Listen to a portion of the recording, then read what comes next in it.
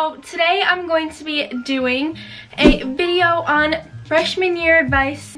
I feel like I can definitely give some advice for this because I'm going to be a senior in high school this year, which is which is super weird. Like I don't even know. Like I just feel like high school flew by because I remember freshman year I was thinking like, oh my gosh, like high school's gonna be so slow. We literally start school on Monday from when I'm filming this and I just can't believe I'm gonna be a senior. Anyways, if you're new to my channel from finding this video, hi, I'm Kailey and I would love if you subscribed. But yeah, without further ado, let's get started. Alright, so the first piece of advice I have for you guys is freshman year, your grades, I'm not saying like don't try hard. If you get one bad grade, like say you didn't do well in a test or something, it is not the end of the world because you have so many different tests like to make up from that. And you can't just like automatically think oh I failed this test. Like I'm gonna fail the rest of high school just because of this. Like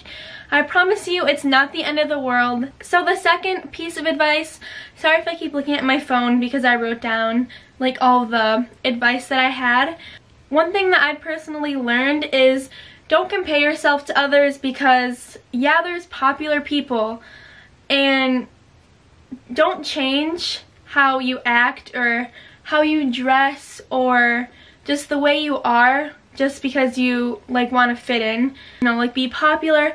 But really that doesn't really matter. Like as long as you have like a few close friends personally I think you'll be good. Like I always used to think like oh like if I wear this like maybe like they'll judge me or something. But literally wear whatever you want. I mean, as long as you like don't get dress coded. But so the next thing is don't be afraid to ask upperclassmen for help. If anyone from my school is watching this, um, feel free to ask me for any help. I don't know if you want to or if you've been watching this, but there's stereotypes like, yeah, upperclassmen like hate the freshmen. Like, I mean, sometimes like we obviously like do say that. Like, I'm pretty sure all upperclassmen say that.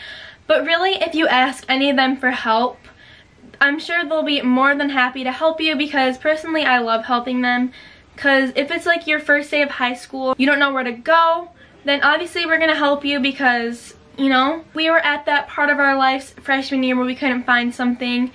So yeah, just don't be afraid to ask any upperclassmen for help. And also, you can probably make some upperclassmen friends along the way. So my next thing is participate. Like, I know as a freshman, you probably, like, I don't know how it is at other schools. For me personally, going into senior year, I really wish I participated more because I never really went to, like, football games or, like, I never really, or, like, I did, but not as much, and I didn't really join any clubs till my junior year last year, and I really regret, like, not going to a lot of school events, so, like, basketball games, football games, you know, like, any of that, and now going into senior year, like I just said, I really regret not doing that. So my next point of advice is don't slack off. And obviously everyone procrastinates from time to time. But like there's a certain point where you can do that.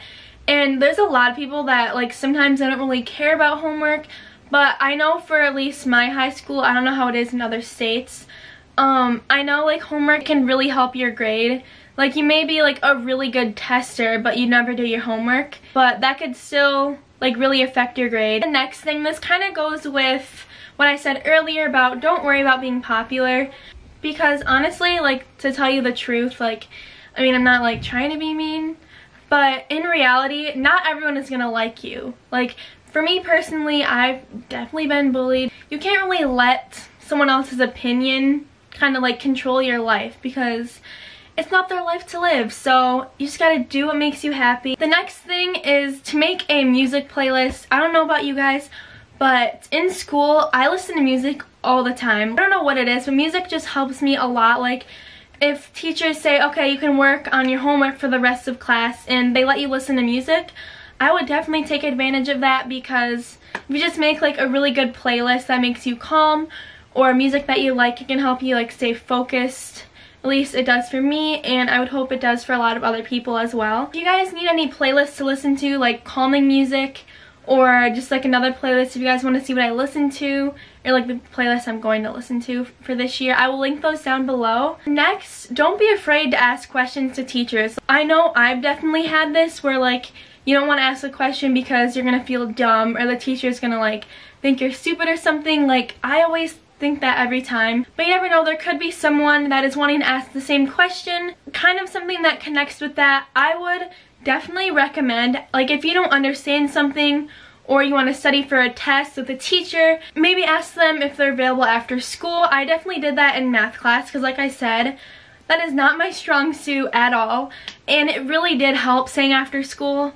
And I know like sometimes it can make people feel kind of like self-conscious because you're going in after school because maybe you don't understand something and you feel like people will judge you. But in reality, it's your grade, not someone else's, so yeah.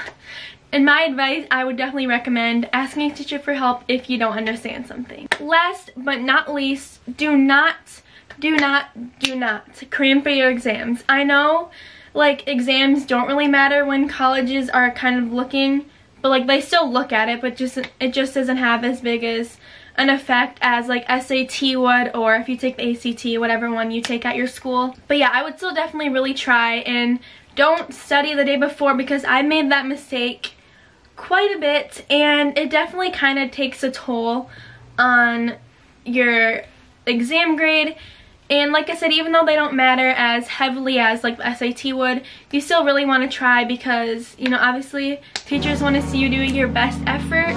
Okay, so hope you guys enjoyed my freshman year advice video. And if you did, be sure to give this video a thumbs up and subscribe if you're not already. But yeah, I will see you guys in my next video.